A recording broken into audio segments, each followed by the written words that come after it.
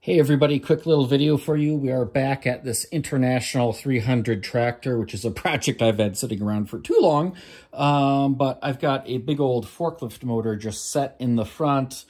Um, and then looking very cobbled together is just some various components I've had around, including this Alltrax motor controller. It is hooked up to uh, 48 volts of batteries down there.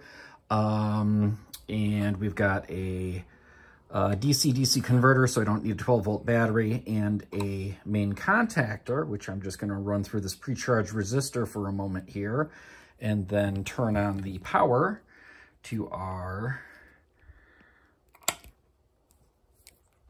to our motor controller. So you can see now uh, the solid green shows that we've got power and it is working correctly. Uh, on the back of the motor, I have just a little cheapy tachometer uh, with a magnet taped on. This is the back end of the motor. Uh, this needs to go clockwise to match up with um, what the tractor is going to need. So at this point, I should be able to move my potentiometer. Variable power is going to come out of this to make this spin, and hopefully the polarity is right. This should spin clockwise, and we'll see um, our speed up here. So here we go.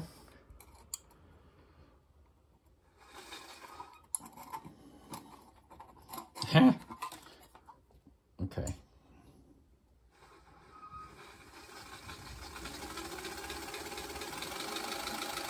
And this tractor is designed to run between about 1800 and 2000 RPM. So we'll shoot for that number.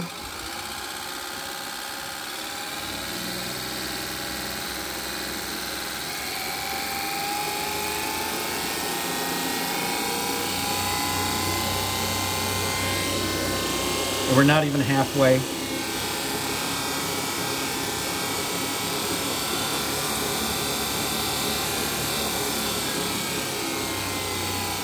So it looks like uh, at 48 volts, you could probably go up to like about 5,000 RPM. Maybe I can hook up the voltmeter to the output here and see what the equivalent voltage is at that position. And I'll put that in the comments.